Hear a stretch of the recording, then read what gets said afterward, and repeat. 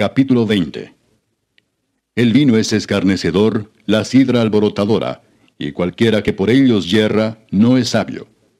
Como rugido de cachorro de león es el terror del rey. El que lo enfurece peca contra sí mismo.